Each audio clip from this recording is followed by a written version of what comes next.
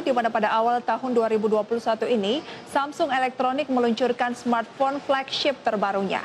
Peluncuran tersebut membantu meningkatkan pendapatan Samsung sebesar 45 persen dalam kuartal pertama tahun 2021. Dampak pandemi COVID-19 juga menjadi faktor lonjakan permintaan untuk berbagai produk elektronik konsumen dengan margin tinggi. Ini membantu perusahaan meningkatkan pendapatan. Hal tersebut turut dirasakan produsen smartphone Samsung. Mengutip Gizmo China, Samsung mengalami lonjakan pendapatan sebesar 45% dalam kuartal pertama 2021.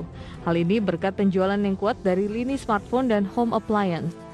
Permintaan yang begitu tinggi menyebabkan kelangkaan chip dan komponen lainnya secara global, namun Samsung mencatat penurunan pendapatan untuk divisi chip terutama karena badai yang menghentikan produksi di pabriknya di Amerika Serikat. Mengutip laporan Reuters, laba operasi untuk raksasa teknologi asal Korea Selatan ini pada kuartal tersebut diperkirakan akan naik menjadi 9,3 triliun won atau sekitar 8,2 miliar dolar Amerika.